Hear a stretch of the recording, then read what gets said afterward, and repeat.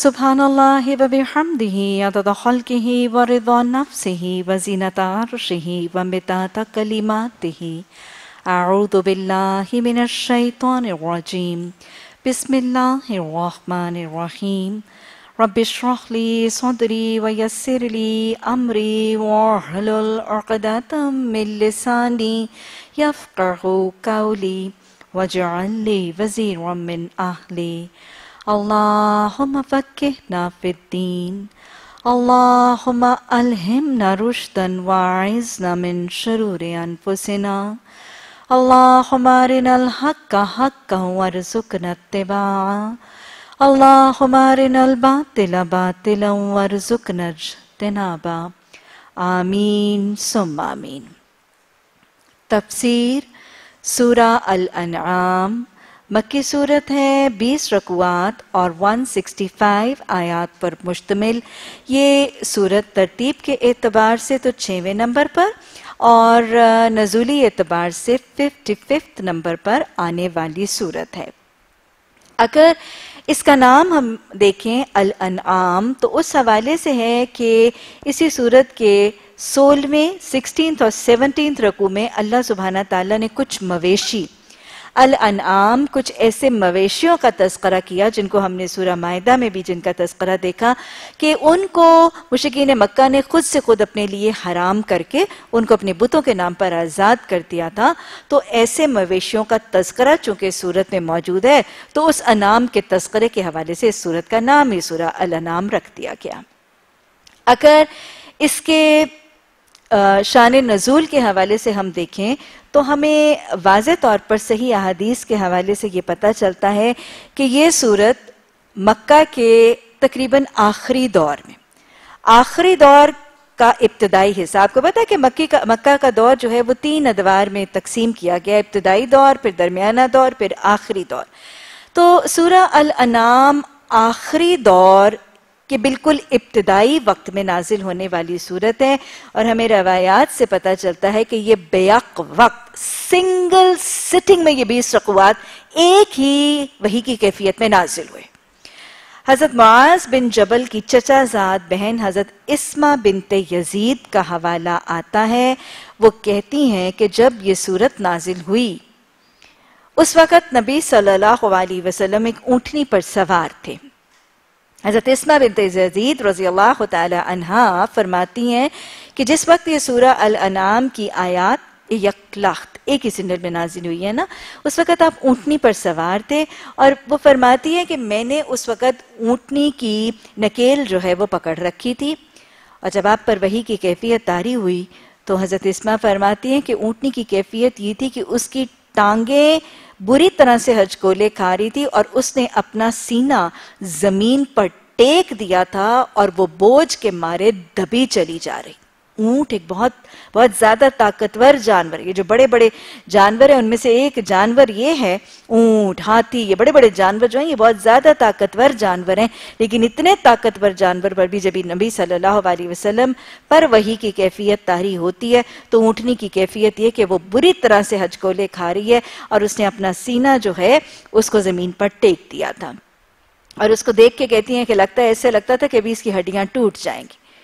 تو یہ پوری کی پوری صورت ایک ایک ہی سٹنگ میں نازل ہوئی اور ایک اونٹ اور اونٹنی کے اوپر اس قدر وہ بھاری ہے اور اس قدر اس کا بوجھ ہے اور اس قدر وہ مشقت طلب معاملہ ہے اور ایک نہیں متفرق حدیث مبارکہ سے ہمیں پتہ چلتا ہے نا کہ نبی صلی اللہ علیہ وسلم کے لیے یہ جو وہی کی کیفیت ہے وہ کس قدر گرا کس قدر بوجھل ہوتی تھی۔ کس قدر وہ مشقت طلب مرحلہ تھا۔ حضرت عائشہ رضی اللہ تعالی عنہ کے روالے سے وہ حوالہ ملتا ہے نا کہ حضرت عائشہ فرماتی ہیں کہ جب نبی صلی اللہ علیہ وسلم کو سخت سردی کے موسم میں بھی وہی کی کیفیت ہوتی تھی تو آپ کے پیشانی مبارک کے اوپر پسینے کے قطرے نمودار ہو جاتے۔ سخت سردی کا موسم بھی ہوتا تھا اور وہی کی کیفیت ہوتی تھی تو پیشانی مبارک کے اوپر پسینے کے قطرے نمودار ہو جاتے تھے۔ یعنی اتنی مشقت۔ ہیکٹک سے ہیکٹک ورک آؤٹس بھی کیے جاتے ہیں۔ ٹریڈ میلز اور جاگنگز اور پتہ نہیں کیا، اور پسینے پر ویسے پسینے کے قطرے پیشانی پر نمودار نہیں ہوتے۔ سوچیں کتنا ہیکٹک اور کتنا ایگزرشن اور کتنا جسمانی طور پر مشقت طلب یہ مرحلہ۔ اور ایک ایک صحابی بھی اپنا واقعہ بیان کرتے ہیں، کہتے ہیں کہ ایک موقع پر نبی صلی اللہ علیہ وسلم کا سر مبارک میری ران پر تھا کہ آپ صلی اللہ علیہ وسلم پر وہی کی کیفیت تاری ہوئی۔ اور کہتے ہیں کہ آپ صلی اللہ علیہ وسلم کا سر مبارک اس وہی کی کیفیت کے دوران اتنا بھاری اور اتنا بوجھل ہو گیا تھا کہ مجھے لگ رہا تھا کہ میری ٹانگ کی ہڈیاں ٹوٹ جائیں گی اور میرے جوڑ کھل جائیں گے۔ یہ تھی وہ مشقت۔ کیا نظر آ رہا ہے؟ ہم سب اپنا اپنا اپنا محاسبہ۔ سیرت رسول صلی اللہ علیہ وسلم کے حوالے سے ذرا کر کے تو دیکھیں۔ اتنی مشقت طلب یہ مرحلہ۔ اور آپ صلی اللہ علیہ وسلم وہی کے حوالے سے کہ جب وہی کا وہی کا سلسلہ کچھ دیر کے لیے منقطع ہوتا تھا، فطرت الوحی وہی کا سلسلہ کچھ دیر کے لیے حکمت کے تحت منقطع ہوتا تھا، اللہ کے حکم سے منقطع ہوتا تھا، تو آپ کی کیفیت، آپ ایک فطرت الوحی کی کیفیت خود بتاتے ہیں۔ کہتے ہیں کہ میرا دل کرتا تھا کہ میں پہاڑ پر سے اپنے آپ کو گرا دوں۔ یہ پریشانی کہ شاید کہیں میرا رب مجھ سے روٹ تو نہیں کیا یہ اللہ کی وحی کا سلسلہ مجھ سے منقطع کیوں ہو گیا؟ کیا ہے یہ رویہ؟ کیا ہے یہ نمونہ؟ نبی صلی اللہ علیہ وسلم کی اللہ سے شدید محبت۔ آپ کی اللہ کے کلام کی شدید سیکھنے کا ذوق و شوق۔ اللہ سے محبت، اللہ کے کلام سے محبت، اللہ کے قرآن سے محبت۔ قرآن کو، احکامات الہی کو، حلال حرام کو، نیکی گناہ کے تصورات کو جاننے اور اس کے علم کو حاصل کرنے کا شدید ذوق و شوق نظر آ رہا ہے۔ اور پھر اللہ کے قرب کے لیے، قرآن کو سیکھنے کے لیے، احکامات الہی کو جاننے کے لیے، ہدایت کو پانے کے لیے، جنت کا راستہ جاننے کے لیے نبی صلی اللہ علیہ وسلم کا طریقہ کتنی مشقت برداشت کر رہے ہیں، کتنی تکلیفیں برداشت کر رہے ہیں۔ کتنی جسمانی تکلیف برداشت کر رہے ہیں؟ ہمارا رویہ کیسا ہے؟ کیا ہمیں اللہ سے اتنی محبت ہے؟ کیا ہم قرآن سے اتنی محبت رکھتے ہیں؟ کیا ہم نبی صلی اللہ علیہ وسلم سے اتنی محبت رکھتے ہیں؟ اور کیا ہمیں قرآن کو سیکھنے کا اتنا شوق اور شغف ہے؟ کیا ہم قرآن کی تعلیم کے لیے اتنی قربانیاں؟ جسمانی قربانیاں، نیندوں کی قربانیاں، اوقات کی قربانیاں، اتنی مشقتیں برداشت کرنے کو تیار ہیں یا کر رہے ہیں؟ اور پھر اتنی تکلیفوں پر کیا اتنی خندہ پیشانی ہے؟ آپ خوش ہیں؟ سلسلہ رکتا ہے تو آپ پریشان ہیں۔ یہاں پہ سلسلہ جاری ہوتا ہے تو لوگ پریشان ہوتے ہیں۔ یہاں پر سلسلہ آتا ہے، پھر منڈے آ گیا۔ پھر پورا ہفتہ کلاس نفی کے سر ہل رہے ہیں۔ اللہ آپ کو، آپ کا ایمان مبارک کرے۔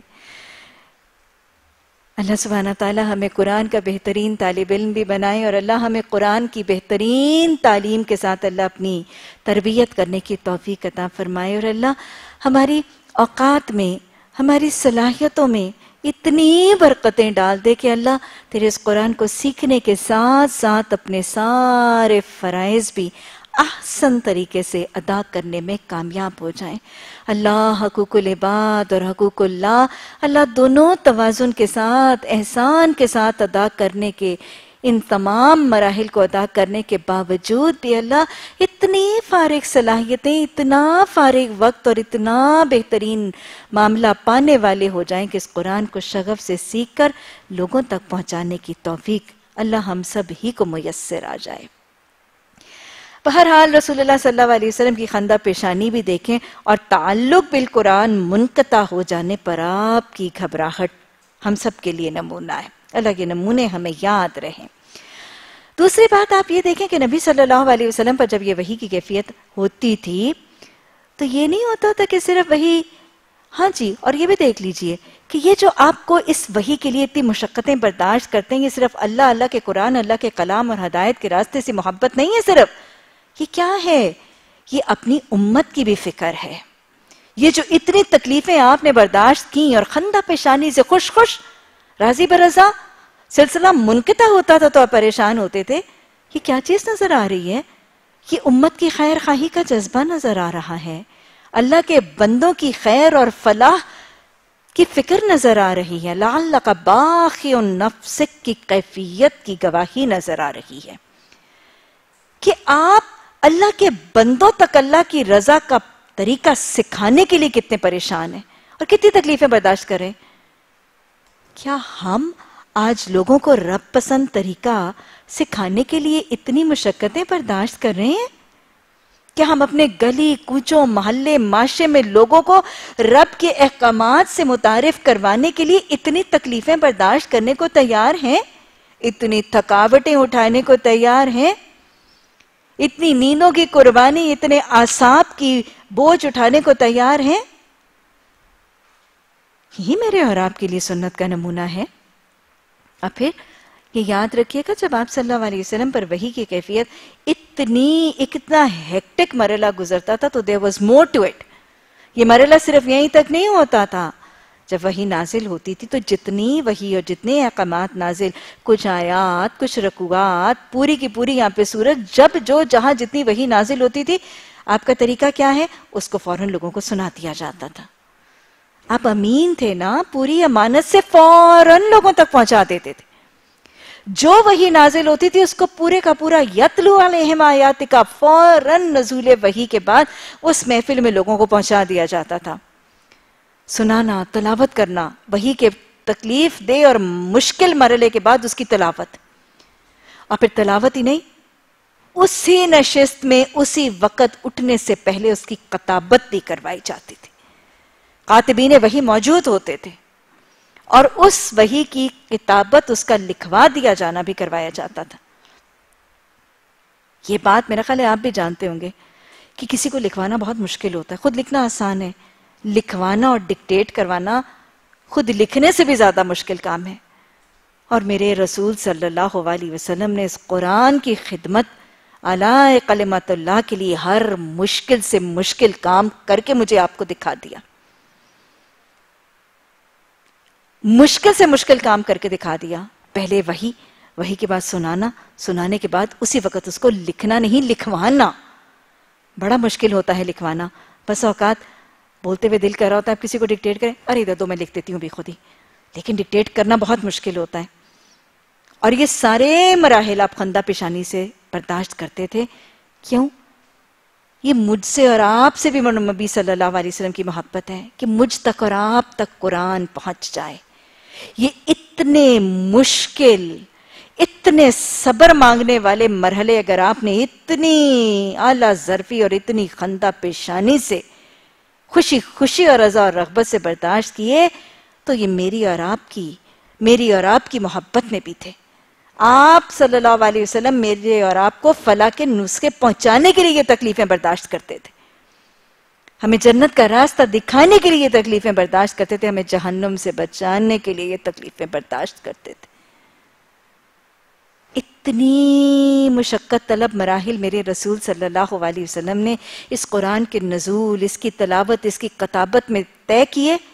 اس کے بعد مجھے بتائیں کہ یہ امت کے افراد کے لائق ہیں؟ کیا یہ امت کے افراد کے لائق ہے کہ ہم اس کو پڑھ کے اس میں سے کچھ مان لیں؟ اور کچھ چھوڑ دیں۔ مزے سے بیٹھیں، لذت بیان کے لیے اس قرآن کو سنیں۔ سرور اور لطف کے لیے اس قرآن کو سنیں۔ لیکن بدلیں نا اپنے آپ کو۔ کیا یہ لائق ہے امت کے؟ کہ جس قرآن کے نزول کے لیے پورے کے پورے نظام کو الٹر کر دیا گیا کیسے اس کو نازل کیا گیا تھا؟ آسمان دنیا پر اتارا گیا تھا، اس کی حفاظت کا بندوبست کیا گیا تھا۔ جبریل امین کے ذریعے اس کو تیئیس سال کی مدت میں اتنے اتنے ہیکٹک پیریڈ سے آپ تک نازل کیا گیا۔ اللہ نے حفاظت کا ذمہ لیا۔ پھر اس کے بعد میرے اور آپ کے لائق ہے یا امت کے کسی فرد کے لائق ہے؟ آرام سے بیٹھیں، اس کو سنیں اور کہیں، یہ تو میں کر سکتی ہوں، یہ میں نہیں کر سکتی۔ یہ واجب، یہ سنت موقع یہ فلاں یہ فلاں، یہ تو میں کروں گی اور یہ میں نہیں کروں گی۔ افتومنون ببعض الکتاب و تکفرون ببعض کیا مجھے اور آپ کے لائق ہے قرآن کے بعض حصوں کو ماننا اور بعض حصوں کا انکار کر دینا، کیا ہے اس کی سزا؟ اللہ نے سورہ بقرہ میں فرمایا ہے نا، تنقید کی ہے، تردید کی ہے تنبیح کی ہے۔ افتومنون ببعض الکتاب و تکفرون ببعض فما جزاء من يفعل ذلك منكم الا خزي في الحياة الدنيا کہ جو شخص تم میں سے یہ کرے گا کہ کچھ حصوں کو مانے گا اور کچھ حصوں کو چھوڑ دے گا، ان کے لیے دنیا میں رسوائی ہے۔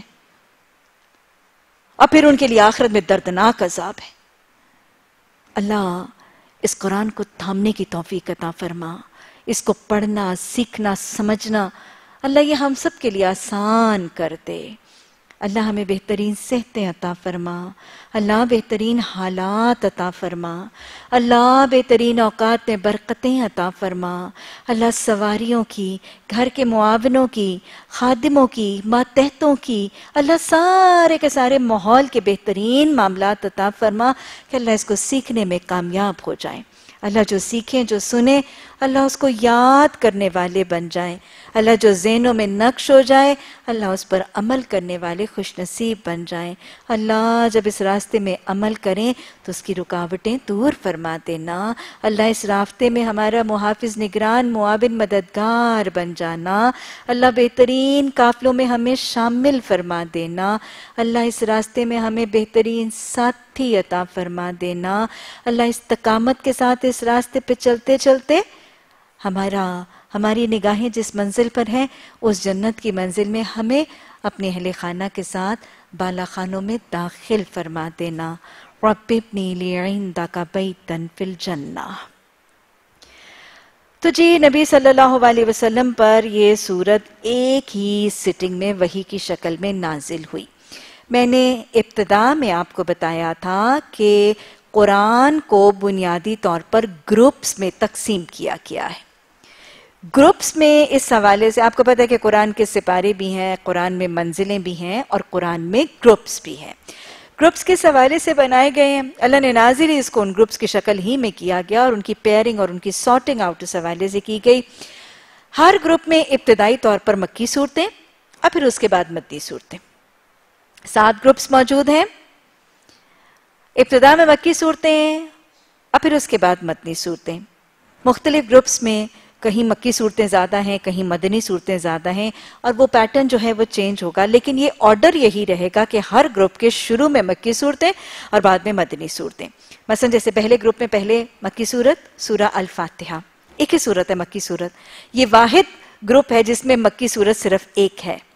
سورہ فاتحہ مکی صورت ہی، اور پھر اس کے بعد ہم نے اب تک اب تک ہم نے جتنی پہلی پانچ جو صورتیں پڑھی، اس میں سے اب یہ چھٹی صورت ہے جو ہم پڑھ رہے ہیں، سورہ الانام اس کے بعد جو ہم نے صورتیں پڑھی وہ سب مدنی تھیں۔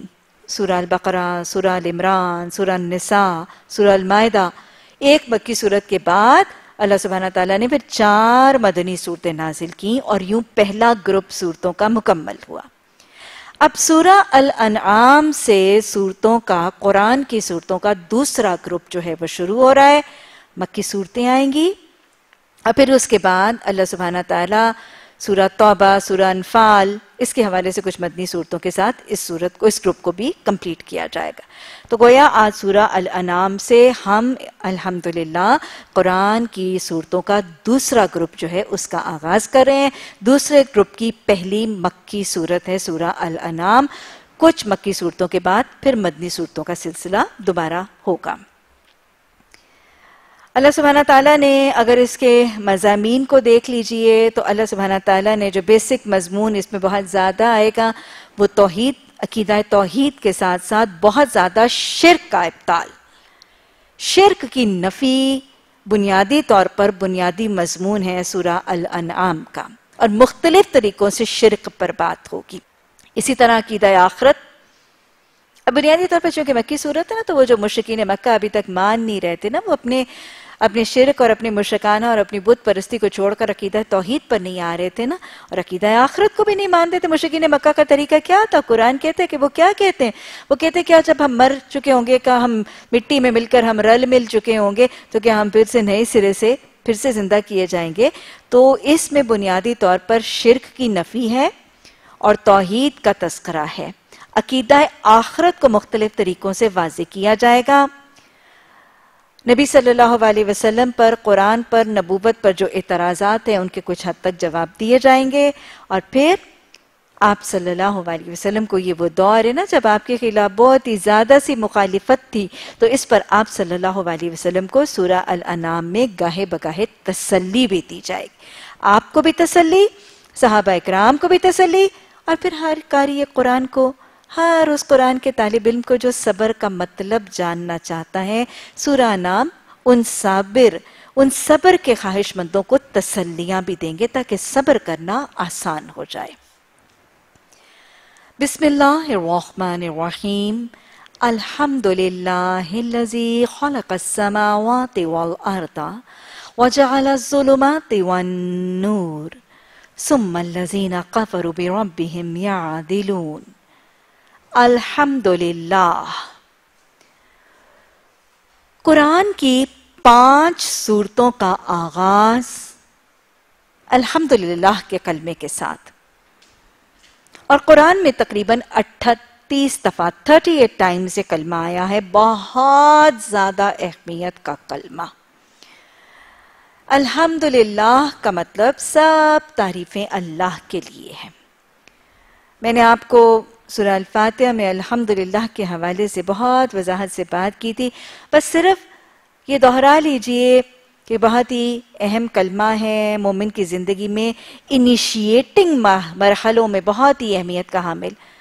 قرآن میں بسم اللہ کے بعد پہلا کلمہ الحمدللہ۔ نماز میں اللہ کی تسبیح اور حمد و ثنا کے بعد پہلا کلمہ سورہ فاتحہ الحمدللہ۔ صبح اٹھتے وقت مسنون دعا، الحمدللہ۔ رات کو سوتے وقت، کھانا کھانے کے بعد، آپس میں ملاقات میں حال چال پوچھنے کے بعد، چھینک آتے وقت خوشخبری کی دعا۔ کوئی گڈ نیوز ملتی ہے، کوئی خوشخبری ملتی ہے، کوئی خیر اور نعمت ملتی ہے، تو خوشخبری کی مسنون دعا۔ الحمدللہ۔ اور پھر خطبہ نکاح۔ خطبہ نکاح، مسنون خطبہ نکاح کے آغاز میں بھی پہلا کلمہ الحمدللہ ہی۔ اب نماز کے بعد تسبیحات میں بھی پہلی تسبیح الحمدللہ ہی کے کلمے کی کی جاتی ہے، تو بہت ہی اہم سا کلمہ ہے۔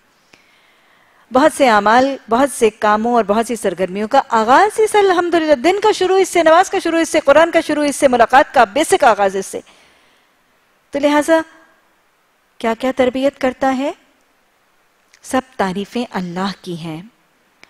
الحمدللہ کا کلمہ اور اس کی تسبیح جب کریں گے تو ہم سب اپنا محاسبہ کریں گے کہ میں الحمدللہ کی تسبیح تو اپنی ان انگلیوں پہ کر رہی ہوں، دس دفعہ کر رہی ہوں، تینتیس دفعہ کر رہی ہوں، جتنی دفعہ بھی کر رہی ہوں، کیا یہ تسبیح مجھے ذاکر بنا رہی ہے؟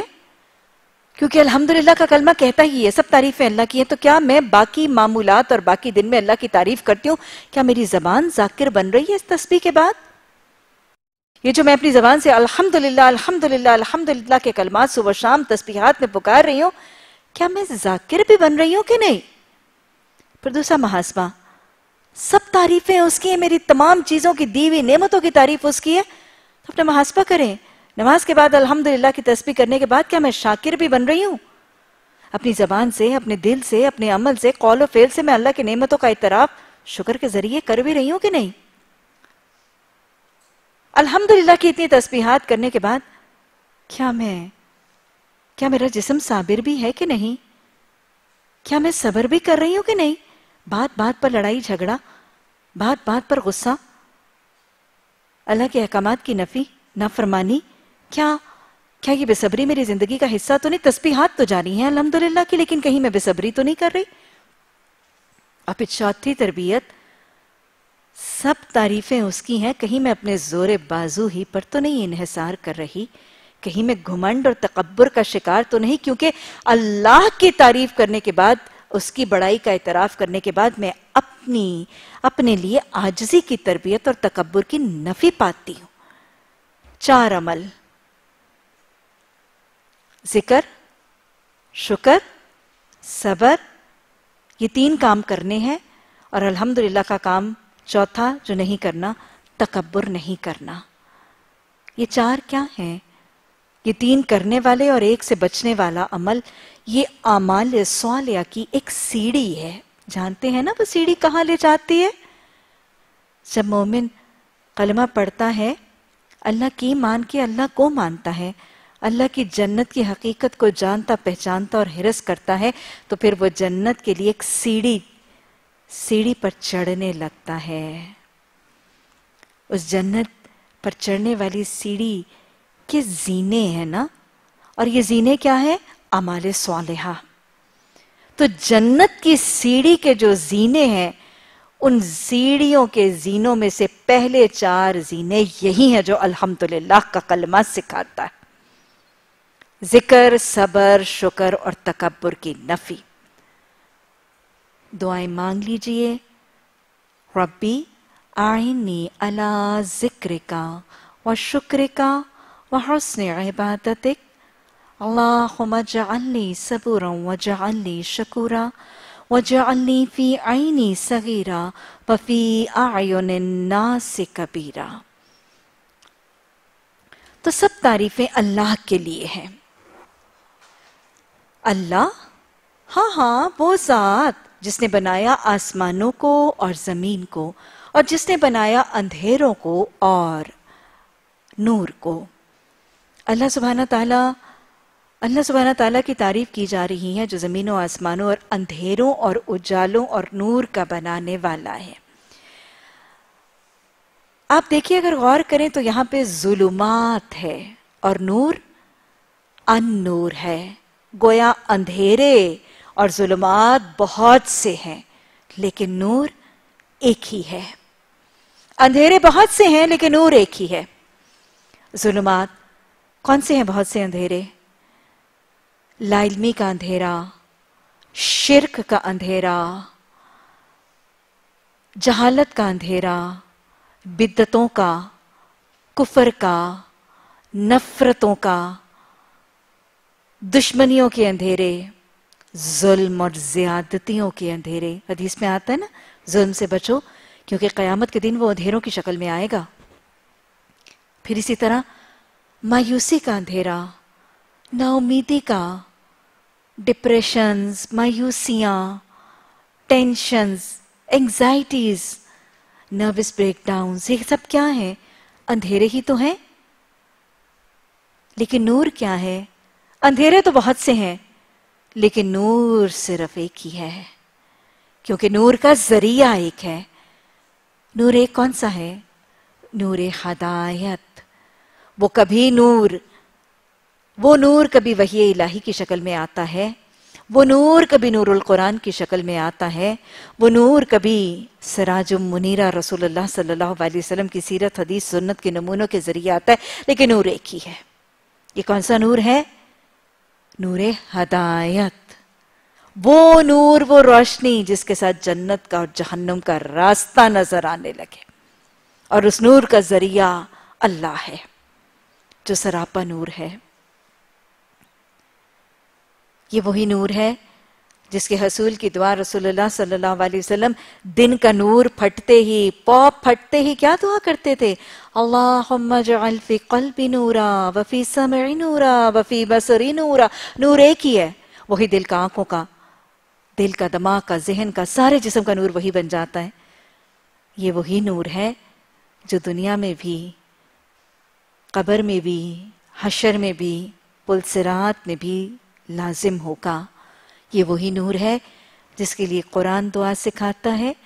ربنا اتمم لنا نورنا وغفر لنا انکا علا قل شیئن قدیر اللہ سبحانہ تعالیٰ ہمیں اس نور کی پہچان عطا فرما دے اللہ اس نور کی قدردانی کے لیے اللہ ہمیں نور بصیرت اور نور بصارت عطا فرما۔ اور اللہ ہمارے کانوں کو، ہمارے آنکھوں کو، ہمارے دلوں کو اس نور خدایت سے منور فرما دے اللہ ہمارے گھر کے آنگنوں کو، ہماری باسی کے، ہمارے معاشرے کے گلی کوچوں کو اللہ سبحانہ تعالیٰ اس نور سے منور فرما دے سب تعریفیں اس اللہ کے لیے ہیں جس نے زمین اور آسمان کو بنایا، جس نے بہت سے نور بنائے، لیکن اس سراپا نور کی ذات ہونے کے باوجود، اس کی اتنی بڑی کائنات کریٹ کرنے کے باوجود اللہ نے شکوہ کیا سم اللہ کفروا بربہم یادلون وہ ذات جس نے زمین آسمان کو بنا دیا، اس میں نور بسا دیا، اس ساری سراپا نور والی ہستی اور اس کی اتنی بڑی پر نور تخلیق کے باوجود، اللہ کے ساتھ لوگ دوسروں کو برابر بنا دیتے ہیں۔ اس کے ساتھ کوئی برابر نہیں ہے۔ لیکن اس کے باوجود اس خالق کے ساتھ، اس مالک کے ساتھ، اس نور والی ہستی کے ساتھ لوگ کسی اور ہستی کو برابر بنا دیتے۔ برابہم یا جو اس کے، اس خالق، اس مالک کے ساتھ، اس نور کے ذریعے کے ساتھ کسی اور کو برابر بناتے ہیں، ان کے لیے کیا ہے؟ اللہ نے قرآن میں فرمایا نا، وَمَن يُؤْمِن بِاللَّهِ وَمَن يَكْفُرْ بِالطَّاغُوتِ وَيُؤْمِن بِاللَّهِ فَقَدْ اسْتَمْسَكَ بِالْعُرْوَةِ الْوُثْقَى لَا انفِصَامَ لَهَا. اللَّهُ وَلِيُّ الَّذِينَ آمَنُوا يُخْرِجُونَهُم مِّنَ الظُّلُمَاتِ إِلَى النُّورِ. وَالَّذِينَ كَفَرُوا أَوْلِيَاؤُهُمُ الطَّاغُوتُ یخرجونہم من النور الى الظلمات. جو اللہ کے ساتھ کسی کو برابر نہیں بناتے، سب تاغوت کا انکار کر دیتے ہیں، صرف اللہ پر ایمان لاتے ہیں پھر وہ بڑا ہی مضبوط سا کڑا تھام لیتے ہیں۔ اس مضبوط کڑے کے تھامنے میں اللہ ان کا ولی بن جاتا ہے اور پھر ولی بن کے اللہ، ایسے صرف اللہ کو ماننے والوں کو اللہ کیا کرتا ہے؟ اندھیروں سے نور کی طرف نکال لاتا ہے۔ لیکن جو جو کفر کرتے ہیں، اللہ کے ساتھ دوسروں کو شامل کرتے ہیں، پھر تاغوت ان کا ولی بن جاتا ہے اور پھر یہ تاغوت ان کو اجالوں سے اندھیروں میں لے جاتا ہے۔ اللہم جعل فی قلبی نورا۔ اللہ سبحانہ تعالیٰ اپنی پہچان عطا فرما، عقیدہ توحید میں رسوخ عطا فرما۔ اللہ شرک سے نفرت، کراہت اور بیزاری عطا فرما۔ شرک کو پہچان کر، اس سے بچ کر، رب واحد کو تھام کر، اللہ اپنا ولی بنا کر، اللہ ان اندھیروں سے نکل کر روشنی اور اجالے میں آنے والا خوش نصیب بنا دے۔ وہی ذات ہے جس نے تمہیں مٹی سے بنایا اور پھر تمہارے لیے ایک میاد مقرر کر دی۔ یہ میاد کون سی ہے؟ یہ دنیا کی زندگی کی میاد ہے۔ خلق الموت والحیات لیبلوکم ایکم احسن عملہ یہی میاد ہے۔ اسے تمہیں مٹی سے بنایا اور پھر مٹی سے بنانے کے بعد تمہاری میاد مقرر کر دی کہ تمہیں مٹی کا پتلا بنا کے اس دنیا میں آباد کرے گا۔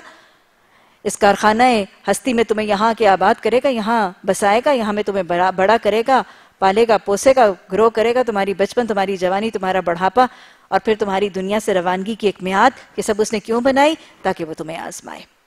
وہ آجل مسمع آئندہ ہو اور ایک اور دوسری میاد اس کے پاس ہے۔ یہ دوسری میاد کون سی ہے؟ فَإِذَا هُمْ مِنَ الْأَجْدَسِ رَبِّهِمْ یہ دوبارہ جی اٹھنے کی میاد وہ خالق ہے۔ اسے تمہیں مٹی سے بنایا، اس دنیا میں آباد کیا، اس دنیا سے روانہ کرنے کی میاد اس نے مقرر کر دی۔ روانگی کے بعد عالم برزخ میں تمہیں کب، کہاں کتنی دیر رہنا ہے؟ اور پھر اس نے میاد مقرر کر دی کہ پھر تمہیں کب زندہ کر کے اٹھایا جانا ہے۔ سما انتم تم ترون اس کے باوجود تم شک پرو۔ اس کے باوجود تم شک پر کیا خیال ہے کہ پہلی دونوں میادیں ہم دیکھ چکے ہیں؟ دنیا میں بھیجے جانے اور پھر دنیا سے روانہ ہونے کی میاد تو ہم آنکھوں سے دیکھتے ہیں۔ کتنوں کی یہ دنیا کی میاد ختم ہوتے ہم آنکھوں سے دیکھتے ہیں۔ کہ یہاں پہ بھیجے جاتے ہیں، ایک میاد دیے جاتے ہیں۔ ایک میاد کا خاتمہ ہم اپنی آنکھوں سے دیکھ چکے ہیں۔ پھر اس اگلی میاد کا شروع ہونے پر شک کیسا؟ آخرت پر عقیدہ راسخ کیا جا رہا ہے اور فکر آخرت کی طرف مائل کیا جا رہا ہے کہ ایک میاد یہاں پر ہے، تمہیں ایک مہلت یہاں دی جائے گی، یہاں رہنے کے لیے ایک پیریڈ دیا جائے گا، اس کے بعد ایک اور پیریڈ کے بعد تمہیں پھر اٹھا دیا جائے گا۔ اصل میں انسان کو شاید، انسان کو اپنی اپنی کم اختیار کا احساس نہیں ہے۔ نہ ہم اس دنیا میں آتے اپنی مرضی سے ہیں نہ جاتے اپنی مرضی سے ہیں۔ آتے بھی رب کی مرضی سے ہیں، جاتے بھی رب کی مرضی سے ہیں۔ اس کے بعد اٹھائے بھی اس کی مرضی سے جائیں گے۔ ایسا ہی ہے نا؟ حمل اللہ کی مرضی سے ہوتا ہے۔ حمل اللہ کی مرضی سے وضع ہوتا ہے۔ پھر جس جب گھر، جس گھر میں جہاں اس نے پیدا ہونا ہے وہ اللہ کی مرضی سے۔ پھر جب اٹھا کے لے جانا ہے وہ۔ یہ جو تھوڑا سا پیریڈ ہم اپنا اختیار عمل دیے گئے ہیں، ارے احمقو ارے نادانو ارے کم علمو سمجھدار وہ ہے جو اس دنیا کے اختیار عمل کو بھی رب کی مرضی کے مطابق استعمال کر لے۔ نہ یہاں آنے میں تمہاری مرضی، نہ جانے میں تمہاری مرضی، نہ سونپے جانے میں تمہاری مرضی، نہ دوبارہ اٹھائے جانے میں تمہاری مرضی اور اختیار کو کوئی عمل۔ یہ چھوٹی سی آزمائے جانے کی میاد جو تمہیں دی گئی ہے، اختیار عمل کی آپشن دی گئی ہے۔ اس اختیار عمل کو بھی اللہ کے حوالے اپنی ڈور کر دو، اپنی باغ اس کو سونپ دو۔ وہ جدھر تمہارا رخ کرے، ادھر اللہ کے فرما برداروں کی طرح اپنا رخ موڑ لو، صبر کرو، شکر کرو، ذکر کرو، اس کی کبریائی کو تسلیم کر کے تکبر کی نفی کرو۔ وہی یہ خدا آسمان میں بھی ہے، زمین میں بھی ہے۔ تمہارے کھلے چھپے سب جانتا ہے، جو بلائی یا بھلائی تم کماتے ہو، اس سے بھی وہ خوب خوب واقف ہے۔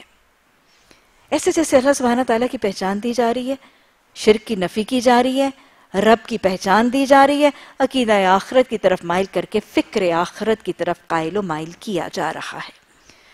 اللہ کی پہچان دے کے فکر آخرت کے حوالے سے بتایا جا رہا ہے، وہ رب جو تمہارا خالق ہے، جو مالک ہے، جو تمہیں مٹی سے بنا کے ایک میاد کے لیے بھیجا ہے، اس میاد کے دوران وہ تمہارا ظاہر باطن سب جانتا ہے۔ اللہ فرما رہے ہیں یا سرکم و جخرکم اللہ ہمارا پوشیدہ بھی جانتا ہے اور ہمارا ظاہر بھی جانتا ہے۔ دو حوالوں سے دیکھیے۔ لوگ تو ہماری ظاہری عمل دیکھتے ہیں۔ آپ میرا لباس دیکھیں گے، میرا لہجہ دیکھیں گے میرے ظاہری عمل دیکھیں گے۔ لیکن آپ میں سے کوئی میرے دل کی کیفیت، میرا تقوی، میری اللہ سے محبت، میری اللہ کا توکل، میری کنات میرے صبر کی کیفیت کو جانچ اور پرکھ سکتے ہیں؟ نہیں۔ ہم میں سے کوئی، ہم میں سے کوئی ایک دوسرے کی ظاہری کیفیت کو تو جان سکتا ہے۔ ظاہری کیفیت کو پرکھ بھی سکتا ہے، لیکن اس کے اس کے اندر کو کوئی نہیں جانتا۔ ہماری خواہشات، ہماری آرزویں ہماری تمنائیں، ہماری ڈیزائرز ہماری محبتوں کا پیمانہ، ہمارے خوف کا پیمانہ، ہماری فکروں کا پیمانہ، ہمارے بغض کینے حسد قدورتیں نفرتیں کون جانتا ہے؟ تو میرا رب وہ واحد ذات ہے جو میرے ظاہر کے ساتھ میرا اندر بھی جانتا ہے۔ اور پھر اگر آپ ویسے قول اور فیل اور اندر اور باطل کے حوالے سے نہیں، جسمانی حوالے سے بھی دیکھیں، تو ہم ایک دوسرے کے جسم کی حیت کو دیکھ سکتے ہیں۔ ہم خود بھی اپنا صرف ظاہر دیکھ سکتے ہیں، اس کھال کے نیچے کیا ہے، وہ تو میں خود نہیں جانتی۔ ہم ایک دوسرے کے ظاہری عمل اور ظاہری حالت کو جانتے ہیں، لیکن ایک دوسرے کے دل کی حالت کو نہیں جانتے۔ ہاں ہم خود اپنے دل کی حالت کو جانتے ہیں۔ لیکن ظاہر اور باطن میں سے ایک باطن ایسا ہے جس کو ہم خود بھی نہیں جانتے۔ ہماری ظاہری حالت، ہمارے بال، ہماری آنکھوں کا رنگ، میری کھال کا رنگ، میری قد، میری کامت میں خود بھی جانتی ہوں اور آپ بھی جانتے ہیں۔ لیکن میری اس کھال کے نیچے کیا ہے؟ میرے جگر اور میرے پھپڑوں کا رنگ کیا ہو چکا ہے؟ میرے گردے بڑھ رہے ہیں، چھوٹے ہو رہے ہیں۔ یہ میرا باطن ہے جو میں خود بھی نہیں جانتی، یہ میرا رب جانتا ہے۔ تو لہٰذا اس کی مانو جو تمہارا ظاہر بھی جانتا ہے، جو تمہارا باطن بھی جانتا ہے۔ وہ جو تمہیں طریقہ بتائے گا، وہ جو تمہیں لائے عمل بتائے گا، وہ جو تمہیں فلاح کے نسخے سکھائے گا، وہ ان لوگوں سے بہتر ہوں گے جو تمہارا ظاہر باطن نہیں جانتے۔ وہ تمہارے اپنے طریقوں سے بھی بہتر ہوں گے جو تم اپنا ظاہر باطن نہیں جانتے۔ جو بلائی یا بھلائی تم کماتے ہو، اس سے بھی وہ خوب واقف ہے۔ لوگوں کا حال یہ ہے کہ ان کی رب کی آیات میں سے۔ آیت نمبر چار میں پڑھیں۔ وَمَا تَعْتِيهِم مِّنْ آیَاتٍ مِّنْ آیَاتِ رَبِّهِمْ إِلَّا قَانُوا أَنْهَا مُعْرِزِينَ قرآن میں آیات کا لفظ بہت جگہ آیا ہے۔ آیات ربہم لفظ بہت جگہ آیا ہے۔ آیات کے مطلب کیا ہے؟ جہاں پہ بھی قرآن میں آیت کا لفظ آئے گا، اس کے تین معنی ہو سکتے ہیں۔ کسی آیت میں یہ تینوں کے تینوں استعمال ہوں گے؟ کسی آیت میں یہ تینوں معنی اگر لکھ دیے جائیں گے تو مطلب سمجھ آئے گا۔ کسی میں صرف ایک معنی کے حوالے سے وہ آیت کا حکم اور بات سمجھ میں آئے گی۔ آیت کا ایک مطلب قرآن کی آیات۔ اللہ کی باتیں، قرآن کی آیات، قرآن کے جملے، قرآن کے احکامات، یہ آیات ہیں۔ And this is what we normally call آیات۔ آیت ہم اسی کو کہتے ہیں نا، قرآن کی آیت کو ہم آیت کہتے ہیں۔ تو آیات ربیم کا پہلا مطلب قرآن کی آیات۔ آیت کا دوسرا مطلب نشانیاں۔ اللہ کی نشانیاں۔ آیاتی ربہم کا دوسرا مطلب اللہ کی نشانیاں۔ کیا خیال ہے؟ ایک انڈے کا کھل کر چوزے کا نکل آنا اللہ کی نشانی ہے؟ ایک زمین جو بالکل ساکت ہے، اس کا ایک دم سے زلزلے اور بھونچال میں ہل جانا اللہ کی نشانی ہے۔ ایک چڑیا جو ہوا میں اڑتی ہے، کبھی پڑ سکیڑتی ہے، کبھی پڑ پھیلاتی ہے، اس کو اڑتے رہنا اللہ کی نشانی ہے۔ ایک بیج کا زمین میں جا کر پھر اس کا زمین کے سینے کو چیر کر اپنی چھوٹی سی ایک شگوف کا نکالنا، ایک کومپل کا نکالنا اللہ کی نشانی ہے۔ ایک پتے کا ہوا میں سے زمین پر گر پڑنا اللہ کی نشانی ہے۔ سورج کا افق پر ابھر کر پھر ڈوب جانا اللہ کی نشانی ہے۔ یہ آیات ربہم ہے آیت کا اگلا مطلب موجزہ ہے۔ آیات ربہم کا اگلا مطلب موجزہ ہے۔ اس سے مراد ایک تو کائنات کے موجزے چشموں کا جاری ہو جانا دریاؤں کا بہ جانا۔ سورج کا گرہن لگ جانا، چاند کا گرہن لگ جانا، چاند کا پھٹ کے دو ٹکڑے ہو جانا، پہاڑ کا گر جانا۔ یہ سب کیا ہے؟ موزات ہی تو ہیں۔ اور یا موزات وہ جو اللہ سبحانہ تعالیٰ نے انبیاء کو دیے۔ اسا کا سانپ ازدہا بن جانا، ہاتھ کا گریبان سے نکل کر چمکتا ہوا ید بیدا بن جانا۔ نبی صلی اللہ علیہ وسلم کی انگلیوں سے پانی کے چشمے کا جاری ہو جانا۔ آپ صلی اللہ علیہ وسلم کا بکری کے خشک تھنوں کو ہاتھ لگا کر خشک تھنوں کا دودھ سے بھر جانا۔ یہ سب کیا ہے یہ اللہ کے معجزات ہیں۔ لعاب دہن سے کھانے کی ایک دیجکی کا سارے مجاہدوں کے لشکر کے لیے کافی ہو جانا۔ یہ آیات رب بھی ہے جو اللہ نے نبیوں کو دیے۔ اب سمجھ آیا؟ آیات کے تین مطلب۔ یہ جب بھی آئیں گے، آپ ہمیشہ آیت میں تینوں مطلب فٹ کر کے دیکھیے گا۔ کہیں ایک مطلب آئے گا، کہیں شاید دونوں مطلب فٹ ان ہو جائیں۔ اور کہیں تینوں معنی کے ساتھ آیت کا مطلب سمجھ میں آئے گا۔ آیت کا پہلا مطلب قرآن کے جملے۔ اللہ کی باتوں، اللہ کے سینٹینسز قرآن کے سینٹینسز دوسرا مطلب اللہ کی نشانیاں۔ پہاڑ، یہ سب کچھ اللہ کی نشانیاں ہیں۔ اور تیسرا مطلب اللہ کے موزات جو کائنات میں نظر آتے ہیں اور یہاں جو اللہ نے انبیاء کو عنایت فرمائے۔ لوگوں کا یہ حال ہے، ان کے رب کی نشانیوں میں سے۔ اب یہاں پر تینوں مطلب فٹن ہوتے ہیں۔ اللہ کے قرآن کے احکامات میں سے، اللہ کی نشانیوں میں سے اور اللہ کے موضوعات میں سے۔ اس آیت میں تینوں معانی ہی صحیح موضوع میسج اور پیغام دیں گے۔ لوگوں کا حال یہ ہے کہ رب کی آیات میں سے کوئی نشانی ایسی نہیں جو ان کے پاس آئی ہو اور انہوں نے اسے منہ نہ موڑا ہو۔ چنانچہ اب جو یہ حق ان کے پاس آیا ہے تو اس کو بھی جھٹلا رہے ہیں۔ اچھا جس چیز کا وہ اب تک مذاق اڑاتے ہیں، ان قریب اس کے متعلق کچھ خبریں انہیں پہنچیں گی۔ کیا انہوں نے دیکھا نہیں؟ ان سے پہلے کتنی ایسے قوموں کو ہم نے ہلاک کیا جن کا اپنے اپنے زمانے میں دور دورہ رہا ہے۔ ان کو ہم نے زمین میں وہ اقتدار بخشا تھا جو تمہیں نہیں بخشا تھا۔ ان پر ہم نے آسمان سے خوب بارشیں برسائیں، ان کے نیچے نہریں بہا دی۔ مگر جب انہوں نے قفران نعمت کیا، تو آخر کار ہم نے ان کے گناہوں کی پاتاش میں انہیں تباہ کر دیا اور ان کی جگہ دوسری قوموں کو اٹھا لیا۔ یہ اللہ سبحانہ تعالیٰ کا طریقہ ہے۔ جب تک کوئی قوم اللہ کی نعمتوں کا اعتراف کرتی ہے۔ ارے، قرآن کی آیت نہیں ہے کیا؟ وَلَا إِن شَكَرْتُمْ لَأَزِيدَنَّكُمْ۔ وَلَا إِن كَفَرَتُمْ إِنَّ عَذَابِ لَشَدِيدٍ۔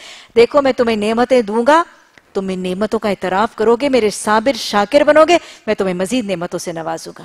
اور اگر میں تمہیں نعمتیں دوں گا، تم زبان سے، عمل سے، قول فیل سے ان نعمتوں کا اعتراف نہیں کرو گے، ان کا انکار کرو گے، تو پھر یاد رکھنا، کفران رحمت کو تو میں شدید ناپسند کرتا ہوں، پھر میرا عذاب بہت سخت ہوگا۔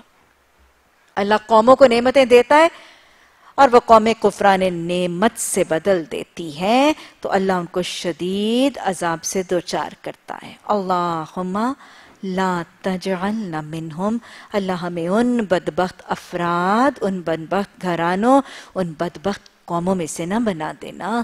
اللہم اغفر لنا وللمؤمنین والمؤمنات والمسلمین والمسلمات۔ اے پیغمبر صلی اللہ علیہ وسلم، اگر ہم تمہارے اوپر کوئی کاغذ میں لکھی ہوئی کتاب بھی اتار دیتے اور لوگ اسے اپنے ہاتھوں سے بھی چھو کر دیکھ لیتے، تب بھی جنہوں نے حق کا انکار کیا وہ یہی کہتے یہ تو سری جادو ہے۔ آپ دیکھیں کہ پہلے ہی صورت کے رکو کے اندر اللہ سبحانہ تعالیٰ نے کیسے توحید کا طریقہ؟ اپنا تعارف، اپنی صفات کا تعارف اور شرک کی نفی۔ وَهُمْ بِرَبِّهِمْ يَعْدَلُونَ کی نفی کر دی۔ توحید کا عقیدہ راستے کی آپ دیکھیں کہ ابھی تک آیات ہی کتنی گزری ہیں، لیکن کتنی جامعیت کے ساتھ کتنے مضامین بیان کیے گئے ہیں ابھی تک۔ اللہ نے اپنا تعارف، اپنی صفات کا تعارف اور اپنے ساتھ شرک کی بڑی سٹرونگ نفی کر دی۔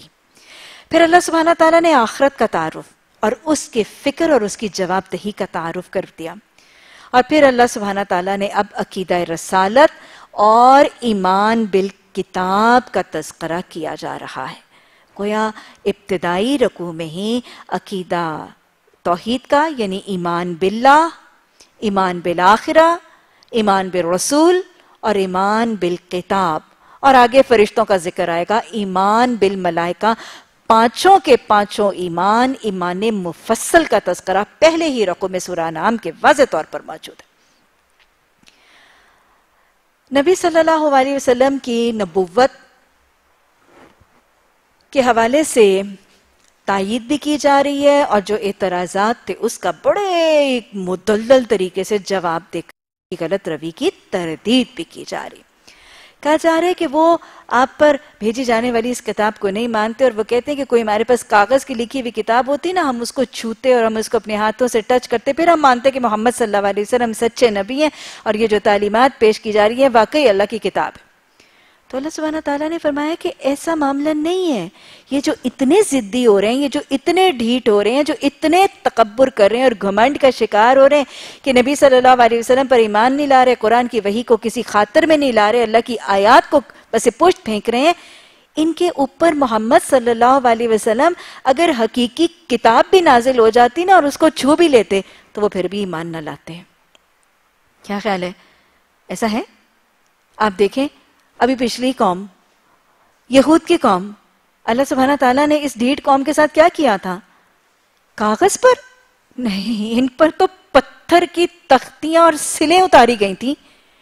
انہوں نے بھاری پتھر کی تختیوں پر، وہ سلوں پر احکامات کندہ کر کے ان کو دیے گئے تھے۔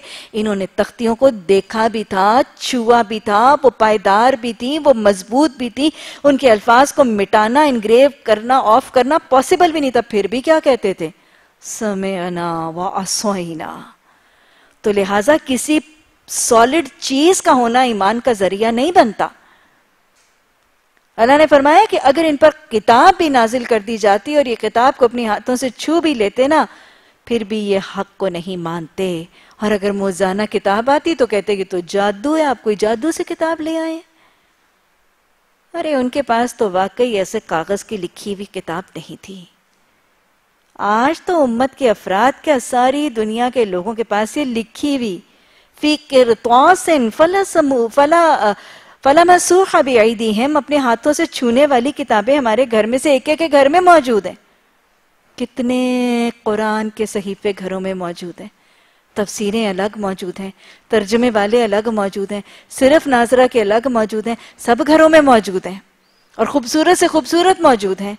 اور خوبصورت سے خوبصورت غلافوں میں موجود ہیں۔ کیبنٹس پہ پڑے ہوئے چھوتے بھی ہیں، نکالتے بھی ہیں۔ آنکھوں سے لگاتے ہیں، ہوٹھوں سے چھوتے لیکن آفتوں میں نونا وواز الکتاب و تک فرونا کا رویہ نظر نہیں آتا۔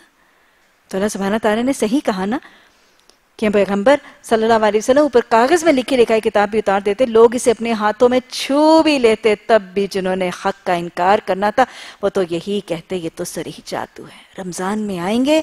رمضان میں پکڑیں گے، ہاتھوں میں قرآن لیے آئیں گے، رمضان نزول قرآن کا مہینہ ہوگا، اس کو سنیں گے، اس کو سیکھیں گے، اس کو سمجھیں گے، اس کو سمجھائیں گے، لیکن رویہ اگر وہی رہا کہ کچھ کو مانیں گے اور کچھ کو نہیں مانیں گے، تو کیا یہ اللہ کی عیسائیت کے مطابق نہیں ہے؟ اچھا وہ اعتراض میں کہتے ہیں، کتاب بھی لے آتے تو کہتے ہیں کہ اس نبی پر کوئی فرشتہ کیوں نہیں اتارا گیا؟ یہ مشکین مکہ کا بہت بڑا اعتراض تھا نا کہ اللہ سبحانہ تعالیٰ نے اگر نبی صلی اللہ علیہ وسلم کو نبی بنانا ہی تھا اور نبوت سے سرفراز کرنا ہی تھا تو کوئی اللہ سبحانہ تعالیٰ ایک فرشتہ بھیج دیتا پھر نبی صلی اللہ علیہ وسلم کے ساتھ؟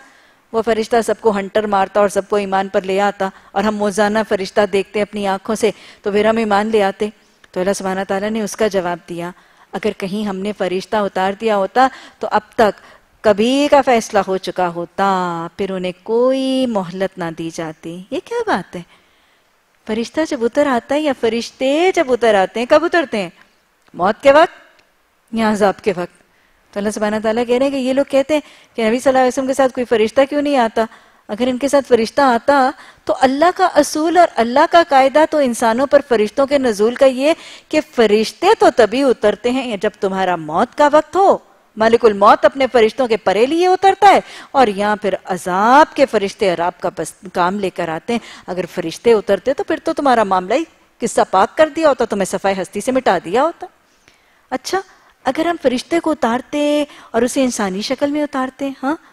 اور اسی طرح انہیں شبہ میں مبتلا کر دیتے جس میں وہ اب بھی مبتلا ہے یعنی کیا بات بتائی جا رہی ہے کہ یہ کہتے ہیں کہ نبی کے ساتھ کوئی فرشتہ کیوں نہیں اترا تاکہ ان کی نبوت معتبر ہو جائے؟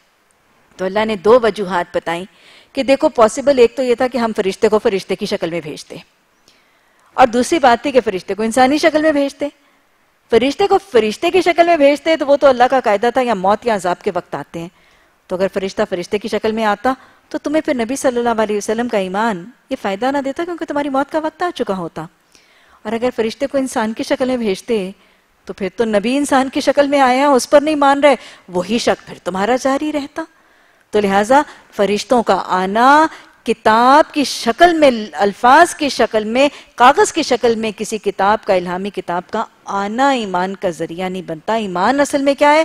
یومنون بالغیب، وہ غیب پر ایمان لاتے ہیں تو اللہ سبحانہ تعالیٰ کی صفات کو پہچانتے ہیں۔ اے محمد صلی اللہ علیہ وسلم، تم سے پہلے بہت سے رسولوں کا مذاق اڑایا جا چکا ہے۔ لیکن مذاق اڑانے والوں پر آخر وہی حقیقت مسلط ہو کر رہی جس کا وہ مذاق اڑاتے تھے۔ میں نے آپ کو بتایا تھا نا کہ آخری دور مکہ کا تو بہت زیادہ اپوزیشن ہے۔ کہیں جادوگر، کہیں کہیں کاہن، کہیں مجنو، کہیں ساحر، کہیں شاعر، کتنے اعتراضات اور مار پیٹ استحزا زد و قوب لہو لہان پتھر برسائے جا رہے سب کچھ ہی تو ہو رہا ہے۔ تو آپ کو نا تسلی دی جا رہی ہے کہ جو ساری تکلیفیں آ رہی ہیں، آپ کا جو سارا مذاق اڑایا جا رہا ہے کہ صرف آپ کا نہیں، آپ سے پہلے رسولوں کا بھی مذاق اڑایا کہ اور جو جو مذاق اڑایا جا رہا ہے نا، وہ خود ہی اس مذاق کے چکر میں آ جائیں گے۔ تسلی رسول اللہ صلی اللہ علیہ وسلم کو اللہ سبحانہ تعالیٰ نے دی ہے، یا اس دور کے صحابہ اکرام کو دی ہے۔ لیکن یا قرآن صرف اس دور کے لیے؟ آج ہر کاری قرآن کو تسلی دی جا رہی ہے۔ تم نے ابھی تک تم نے ابھی تک چار بدنی صورتیں پڑھ لی ہیں نا؟ سورہ سورہ فاتحہ پڑھ لی اور تم نے کہا ہے کہ اللہ صرف تیری عبادت کریں گے، صرف تجھ سے مدد مانگیں گے۔ اور پھر میری اطاعت میں تم نے سورہ بکرہ پڑھ ڈالی، سورہ نساء پڑھ ڈالی، سورہ عمران پڑھ ڈالی، سورہ معدہ پڑھ ڈالی۔ ہے میرے راستے پہ چل رہے ہو تکلیفیں آ رہی ہیں، مذاق اڑایا جا رہا ہے۔ تو کیا ہے؟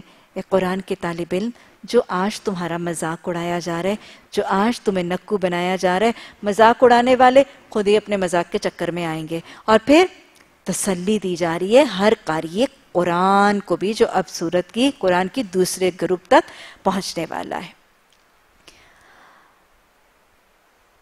ان سے پوچھو، آسمان اور زمین میں جو کچھ ہے وہ کس کا ہے؟ کہو، سب کچھ اللہ کا ہے۔ یہ بار بار آیت آتی ہے۔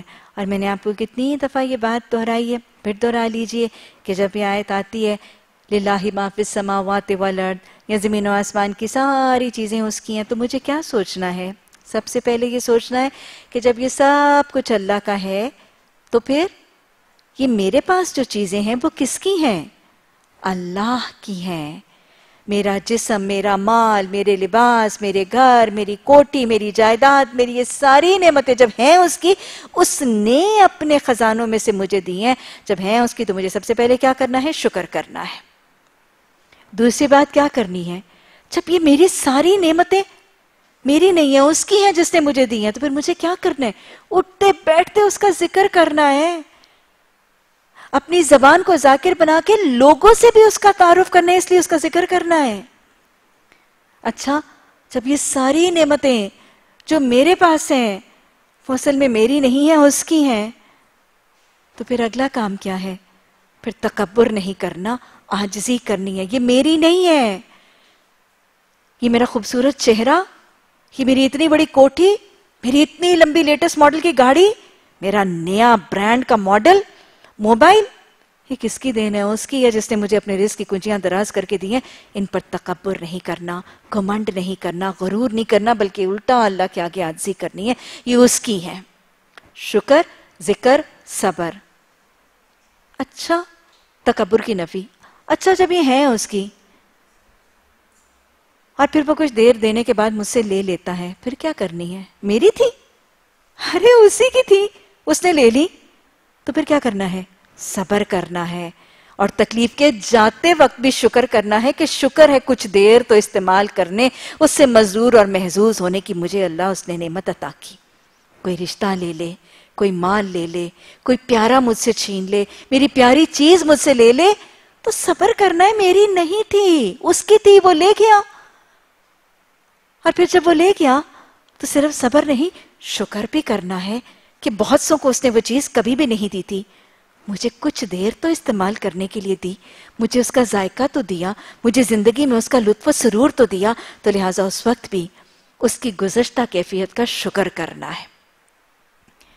پھر جب یہ احساس ہو کہ یہ ساری چیزیں میری نہیں ہیں دہرائیں کیا کیا کرنا ہے؟ ذکر، شکر، صبر، تکبر کی نفی۔ پھر جب یہ ہے ہی میری نہیں، ہے ہی اس کی، تو ان کو استعمال کیسے کرنا ہے؟ جس کی ہے، اس کی مرضی سے استعمال کرنا ہے۔ وہ ان کو استعمال کرنے کی جو حد سکھاتا ہے نا، جو قیود بتاتا ہے نا، جو قوانین، طریقے، آداب، سلیقے سکھاتا ہے نا، ان کے مطابق استعمال کرنا ہے۔ جن کی ہے اسی کی مرضی سے استعمال کرنا ہے۔ اور پھر جس کی ہے اس کی رضا کے لیے اور اس کے راستے میں بھی خرچ کرنا ہے۔ میری کوٹھی اصل میں تو اس کی ہے۔ تو مجھے اس گھر کو، اس کوٹھی کو تھوڑا سا تو اس کے دین کے لیے استعمال کرنا ہے نا۔ اس مال کو جو اس مالک الملک نے مجھے دیا ہے، اس کی رضا، اس کے بندوں کے لیے، اس کے دین کی اشاعت کے لیے خرچ کرنا ہے۔ یہ صحت اس نے دی، یہ ہاتھ پاؤں اس نے دیے۔ اس کو ایک تو ان کی مرضی سے استعمال کرنا ہے جس کے ہیں، اور پھر اس کے راستے میں بھی خرچ کرنا ہے جس کے وہ ہیں۔ اللہ ایسی اطاعت کی توفیق عطا فرما۔ کہو سب کچھ اللہ کا ہے۔ اس نے رحم اور کرم کا شیوا اپنے اوپر لازم کر لیا ہے۔ اس لیے وہ نافرمانی اور سرکشیوں پر تمہیں جلدی نہیں پکڑتا۔ ظاہر ہے وہ اتنا کچھ دیتا ہے۔ اس نے کیا کر لیا؟ قطب علی نفسہ الرحمہ۔ اس نے اپنے اوپر رحمت کو لازم کر لیا ہے۔ اللہ سبحانہ تعالیٰ نے واقع حدیث میں آتا نا کہ جب اللہ سبحانہ تعالیٰ نے زمین و آسمان کو تخلیق کیا تھا، تو پھر اللہ سبحانہ تعالیٰ نے عرش الہی پر کیا لکھا تھا؟ رحمتی غالب غضبی، کہ قیامت تک کے لیے میری رحمت میرے غضب پر، میرے غصے پر، میرے غضب پر میری رحمت غالب رہے گی۔ اور ایسا ہی ہے۔ وہ دیتا ہے اور دیتا چلا جاتا ہے۔ وہ رزق دیتا ہے۔ وہ پوری کائنات کو میرے آپ کے مسخر تاب فرمان کر دیتا ہے۔ نعمتیں نوازتا ہے، رزق سے نوازتا ہے، صحت سے نوازتا ہے، اولاد سے نوازتا ہے۔ اور سارا کچھ دینے کے بعد بندہ اس کی سرکشی کرتا ہے، اس کی نافرمانی کرتا ہے، اس کے حقوق سے تجاوز، حدود سے تجاوز کرتا ہے۔ وہ ڈھیل دے دیتا ہے، وہ معاف کر دیتا ہے۔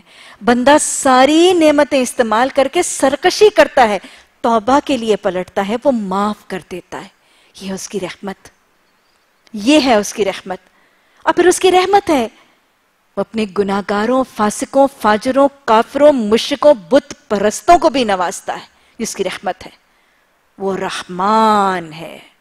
دنیا میں اس کا رحم مبالغے کی حد تک ہے۔ حدود و قیود سے بڑھ کے ہے۔ سب کو نوازتا ہے۔ اپنے فرما برداروں، عبادت گزاروں کو بھی دیتا ہے۔ اپنے نافرمانوں، سرکشوں زیاں کاروں کو بھی نوازتا ہے۔ توحید پرستوں کو بھی دیتا ہے بدھ پرستوں کو بھی دیتا ہے۔ بدھ مت کو بھی دیتا ہے، سکھ والوں کو بھی دیتا ہے، ہندوؤں کو بھی دیتا ہے، یہودیوں کو بھی دیتا ہے۔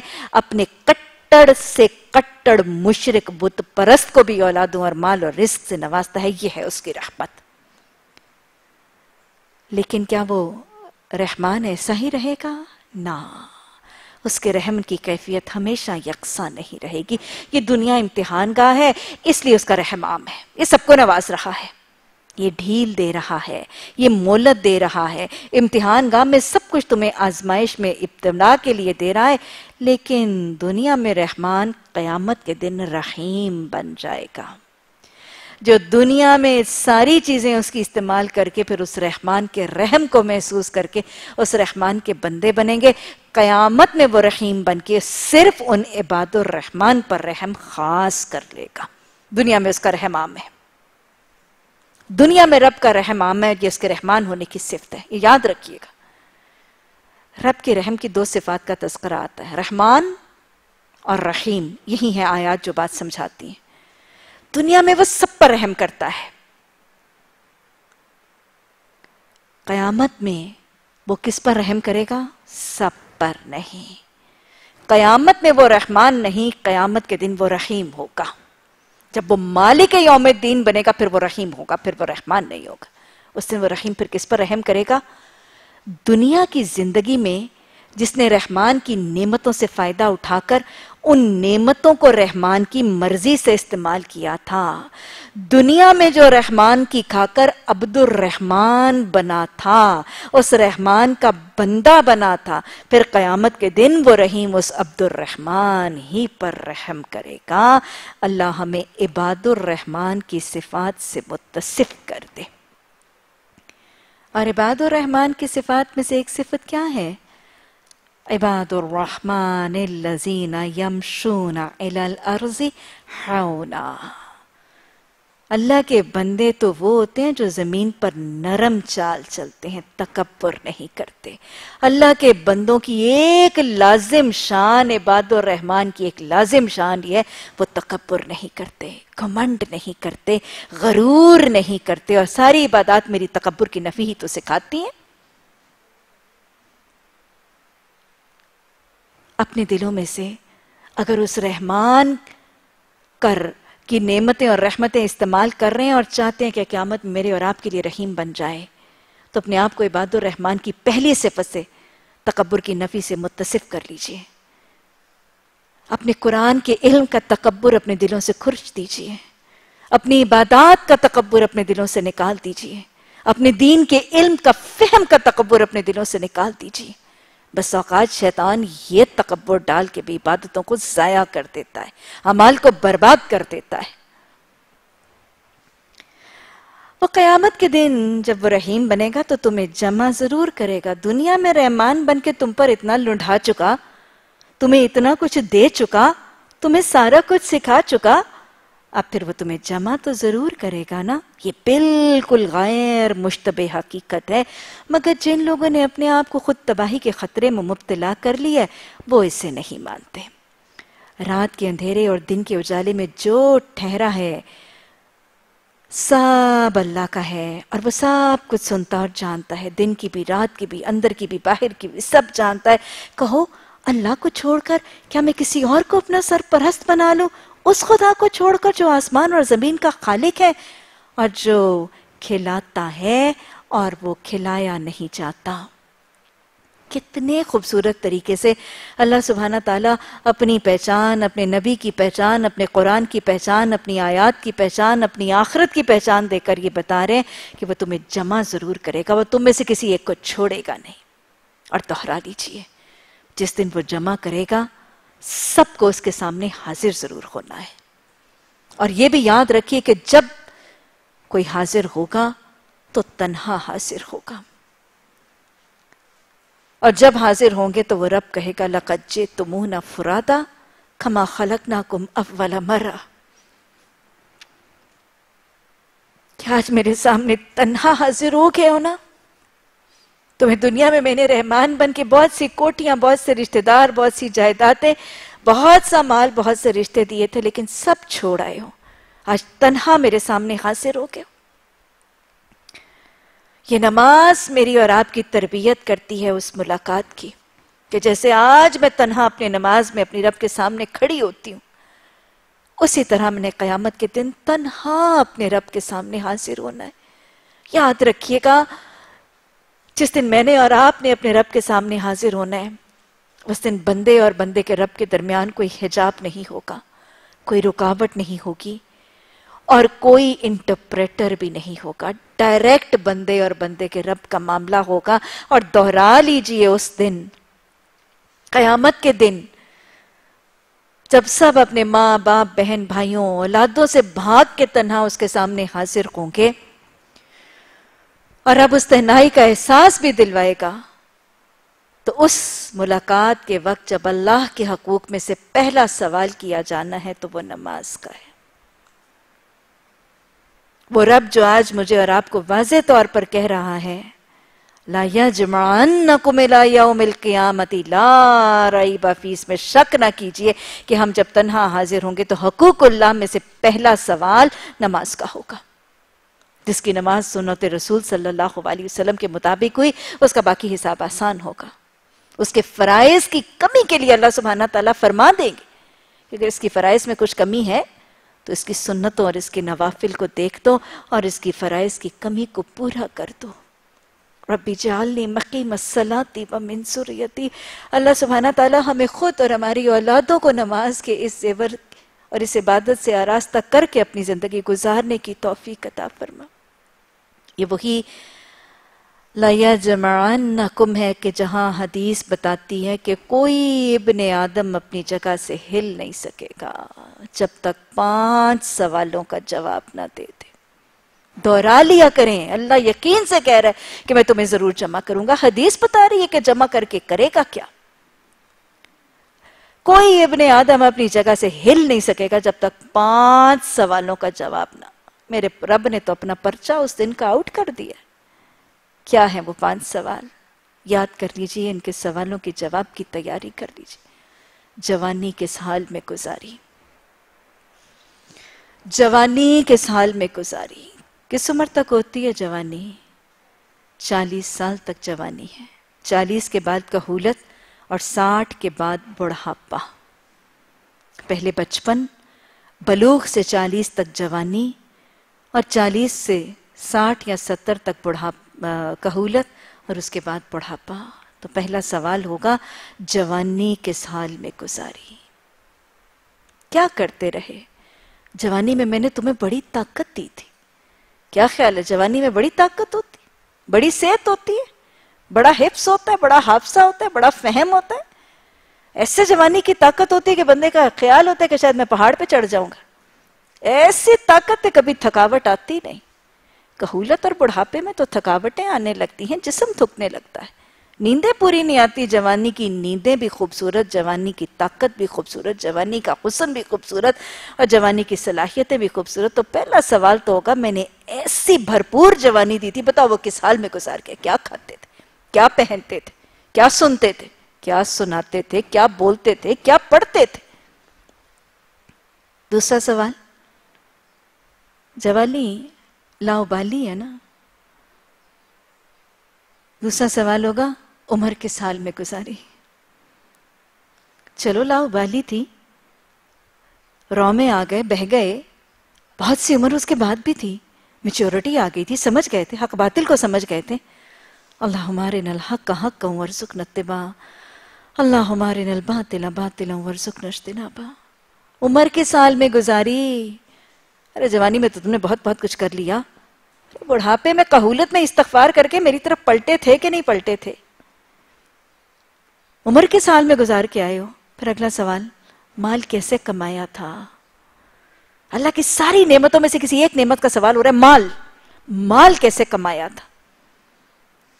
پھر، عورتوں پہ کیا سوال ہے؟ عورتیں تو مال نہیں کماتی۔ بس اوقات اگر وہ عورت گھر بیٹھ کر اپنے شوہر کے حرام مال کے کمانے کا ذریعہ بن رہی ہے، تو اس سے بھی سوال ہوگا۔ مال کیسے کمایا تھا؟ پھر دوسرا، کمایا تھا؟ مال جو کمایا تھا، اس کو خرچ کیسے کیا تھا؟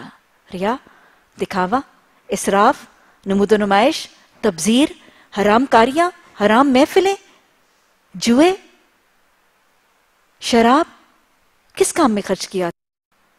مال خرچ کیسے کیا تھا؟ پھر آخری سوال، جو علم دیے گئے تھے، اس پر عمل کہاں تک کیا تھا؟ جو علم دیے گئے تھے، اس پر عمل کہاں تک کیا تھا؟ اللہم انی اسالکا علما نافعا، رزقا طیبا، وعملا متقبلا۔ اللہ منفعنی بما علمتنی وعلمنی ما ينفعنی وزدنی علما رب زدنی علما اللہ سبحانہ تعالی ہمارے علم میں اضافہ تو فرما پر اس علم پر اس سوال کی اس سوال کی جواب کی تیاری کی توفیق عطا فرما اللہ نے فرمایا کہ اس خدا کو چھوڑ کر میں زمین و آسمان کا خالق ہے جو روزی دیتا ہے اور روزی لیتا نہیں ہاں وہ چاہتا ہے کہ تمہیں میں روزی دیتا رہوں، تم اس روزی لے کر شکر کرو۔ شکر کرو، ذکر کرو، صبر کرو، توکل کرو۔ وہ روزی لیتا نہیں ہے، لیکن وہ اپنے بندوں کے لیے چاہتا ہے کہ تم اس کے بندوں کو تو کھلا دو۔ تم میں سے کسی کا ایمان اس وقت تک پورا نہیں ہو سکتا جب تم تم خود پیٹ بھر کے سو جاؤ اور تمہارا خمسایہ بھوکا سو جائے۔ اللہ روزی دیتا ہے، کھلاتا ہے، لیکن وہ کھلایا جاتا نہیں۔ پر وہ کیا چاہتا ہے؟ اپنے ارد گرد اپنے بھوکے بندوں کو تو کھلا دو حدیث آتی ہے، وہ قیامت کے دن پوچھے گا، ابن آدم، میں بھوکا تھا، تو نے مجھے کھانا نہیں کھلایا۔ ابن آدم، میں بھوکا تھا، تو نے مجھے کھانا نہیں کھلایا۔ انسان کہے گا، اللہ تو کیسے بھوکا تھا؟ اللہ کہے گا، میرا فلاں بندہ بھوکا تھا، تو اسے کھلاتا تو تو مجھے وہاں پاتا۔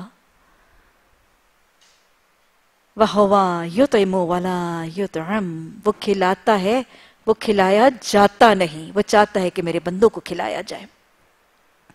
کہو مجھے تو یہی حکم دیا گیا ہے کہ میں سب سے پہلے اس کے آگے سر تسلیم خم کر دوں۔ اور تاکید کی گئی ہے کہ کوئی شرک کرتا ہے تو کرے۔ کوئی شرک کرتا ہے تو کرے۔ میں تو بہرحال مشرقوں میں شامل نہیں ہوں گا۔ مجھے کہو، اگر میں اپنے رب کی نافرمانی کروں تو ڈرتا ہوں کہ ایک بڑے خوفناک دن کی سزا مجھے بھگتنی پڑے گی۔ اس دن جو سزا سے بچ گیا، اس پر اللہ نے بڑا رحم کیا اور یہی سب سے بڑی کامیابی ہے۔ اگر اللہ تمہیں کسی قسم کا نقصان پہنچائے، تو اس کے سوا کوئی نہیں جو تمہیں اس نقصان سے بچا سکے۔ اللہ سبحانہ تعالیٰ نے اپنی ذات، اپنی صفات، اپنے اختیارات کو سمجھا کر شرک کی نفی کہہ کر ساری آخرت کا عقیدہ سمجھا کر اپنی اکاؤنٹیبلٹی کا تصور سمجھا کر اب یہ بتا دیا کہ اب تمہارا رویہ اللہ کے ساتھ کیا ہونا چاہیے؟ کہہ دو، انی امرتو ان اکونا من المسلمین. ان اکونا اولا من اسلم، میں مسلموں میں سے سب سے پہلا ہوں۔ اللہ مطالبہ کیا کر رہا ہے؟ جب جہاں جو جیسے قرآن و حدیث کا حکم سنے گا اس کے اسلم کہنے میں اور اس کی فرما برداری کرنے میں ٹال مٹول، لٹک مٹک، تاخیر، تردد، شک، شبہ، ریب اور کسی قسم کی کنفیوژن اور ڈیلے اور پوسٹپونمنٹ کا طریقہ نہیں ہوگا۔ جب جہاں جو جیسے سنو گے فوراً اسلم تو رب العالمین، کہتے نا، اور پہلے فرما بردار بن جانا۔ اپنے گھرانے میں، اپنی برادری میں، اپنے معاشرے میں۔ اولا من اسلم ہونا فستبک الخیرات، ہے نا، نیکیوں میں دوڑ لگا دو۔ قرآن کے احکامات کو سننے کے بعد تردد، تاخیر نہ کرو۔ ٹال مٹول، ڈیلے، پوسٹپونمنٹ نہ کرو۔ میں، یہ پڑھنے کے بعد میں اکیلی اپنے گھر میں ایسے کرنے لگوں؟ نہیں، میرا قرآن کہتا ہے کہ جب تم اکیلی کو میں نے پہنچا دیا تو تم اولا من اسلم بن جاؤ۔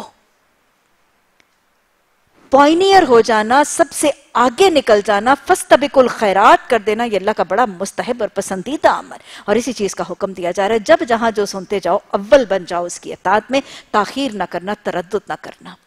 اور لوگوں کو اس دائرے میں آنے کا انتظار نہ کرنا، تم پوائنیئر بن کے آغاز کرنے والے بن جاؤ لیڈنگ رول اختیار کر لو۔ یہ وہ چیزیں جو ہم دنیا میں اپنے لیے بہت پسند کرتے ہیں۔ لیڈنگ رول پہ ہمارا دل ہوتا ہے۔ دنیا کی ہر چیز میں ہمارا لیڈنگ رول پہ دل کرتا ہے۔ دنیا کے ہر کام میں یہ دل کرتا ہے کہ یہ شروط ہو جائے کہ یہ سب سے پہلے میں نے کیا تھا۔ یہ پہلے میں نے کیا تھا، پھر لوگوں نے مجھ سے سیکھا۔ گرمیوں کا موسم ہے نا۔ ڈیزائنروں کی لونے آ رہی ہیں نا۔ کیا دل کرتا ہے سب کا؟ یہ پرنٹ سب سے پہلے میں پہن لوں۔ مجھ سے پہلے یہ ڈیزائن کوئی نہ پہنے۔ ہر چیز میں we want to be the first with everything یہ خبر پہلے میں نے دی تھی۔ یہ بات پہلے میں نے بتائی تھی۔ یہ ریسیپی ایکچولی میری ہے، میں نے سکھائی تھی۔ ایسے ہوتا ہے نا؟ یہ کپڑے میں نے ڈیزائن کیے تھے، اس نے مجھے کاپی کیا۔ فنکشن میں نے پہلے اس تھیم سے سیٹ کیا تھا، اس نے مجھے کاپی کیا۔ ایسے دل کرتا ہے۔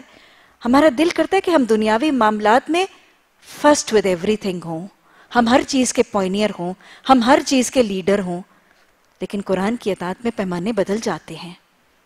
قرآن کی اطاعت میں پہلے اکیلے ہونا ذرا ڈر لگتا ہے۔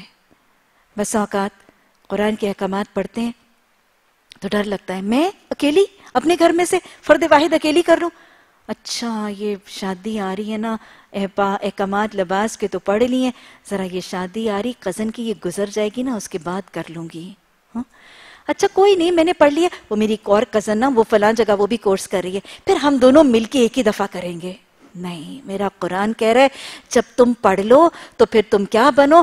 ان اکونا اولا من اسلم فرسٹ ود اطاعت آف قرآن بن جاؤ۔ کیا خیال ہے؟ پہل پہل کی، پہل پہل کی قدردانی ہوتی ہے کہ نہیں؟ پہلا گرینڈ چائلڈ بہت عزیز ہوتا ہے، پہلا بچہ بہت عزیز ہوتا ہے۔ اللہ کے ہاں بھی وہ جو پہلا ہے نا، اس کی ایک، اس کا ایک درجہ ہے۔ کیا خیال ہے؟ تاریخ میں نام ہے، سب سے پہلے اسلام قبول کرنے والی خاتون۔ بعد میں کتنی خواتین نے اسلام قبول کیا؟ نام کس کا رہ گیا؟ سوال کوئز پروگرامز میں کس کا ہوتا ہے؟ سب سے پہلے اسلام قبول کرنے والی خاتون کون سی تھیں سب سے پہلے قبول اسلام والا بچہ کون سا تھا؟ وہ چھوٹا سا بچہ جو کمزور کمزور ٹانگوں پہ کھڑا ہو گیا، حضرت علی مرتضی قدردانی تو اسی بچے کی ہو گئی۔ سب سے پہلے اسلام قبول کرنے والا غلام کون سا تھا؟ اسلامی تاریخ میں نام رہ گیا۔ نوجوانوں میں، مردوں میں، آزاد مردوں میں سب سے پہلے اسلام کس نے قبول کیا؟ حضرت ابو بکر صدیق کا نام رہ گیا۔ سب سے پہلے ہجرت کس جوڑے نے اللہ کی راہ میں کی؟ ان کا نام رہ گیا۔ سب سے پہلے مال نبی صلی اللہ علیہ وسلم کی محبت میں کس نے کیا؟ راہ للہ کس نے کیا؟ حضرت خدیجہ کا نام رہ گیا۔ سب سے پہلا خون کا قطرہ شہادت کا جام نوش کر کے وہ پہلا خون کا قطرہ کس نے بہایا؟ حضرت سمیہ کا نام رہ گیا۔ بڑے لوگوں نے شہادتیں دیں، لیکن وہ پہلے خون کے قطرے کا نام تو رہ گیا نا۔ پہلا مال، پہلا ایمان، پہلا مرد، پہلی عورت، پہلا شہید، پہلا خون کا قطرہ، داستانوں میں ان کے نام رقم رہ گئے۔ تو پہلے بن جائیے، اپنی برادری میں ڈر لگتا ہے اس پہلا بننے سے۔ تنہائی کا احساس ہوتا ہے، نہیں۔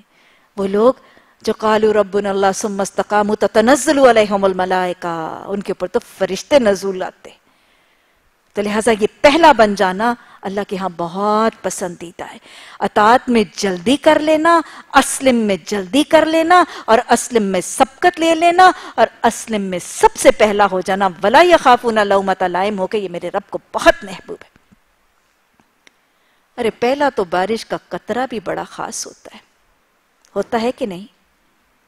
وہ جو پودے کی پہلی کومپل ہے، کیا وہ کتنے پتے آ جاتے ہیں؟ لیکن وہ جو پہلی کومپل کی بات ہے، وہ بات ہوتی ہے بات کی۔ وہ جو پہلی کومپل اس کسان کو خوش کرتی ہے یا مالی کو خوش کرتی ہے، وہ بعد میں نکلنے والے دس ہزار پتے مالی کو اتنا خوش نہیں کرتے؟ ایسا ہے کہ نہیں ہے؟ وہ جو پہلی پہلی کلی لگتی ہے یا وہ پہلا پھل پڑتا ہے، وہ اس باغبان کو کتنا اچھا لگتا ہے۔ اور زمین پر پہلی پڑنے والی بارش کا قطرہ محسوس کیا ہے؟ کیا ہوتا ہے اس پہلے قطرے کے ساتھ؟ ایسے زمین میں جذب ہو جاتا ہے۔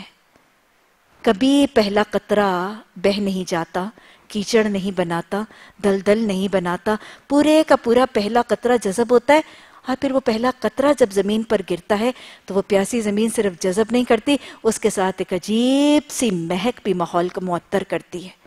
محسوس کی ہے نا بہت دفعہ؟ وہ پہلے قطرے جو بارش کے آتے ہیں، اس کے ساتھ ماحول جو معطر ہوتا ہے، اللہ ہمیں بارش کا وہ پہلا قطرہ بنا دے۔ اللہ ہمیں وہ پہلا قطرہ بننے کی توفیق عطا فرما دے۔ اللہ ہمیں ان اکونا اول من اسلم ہونے والا خوش نصیب بنا دے۔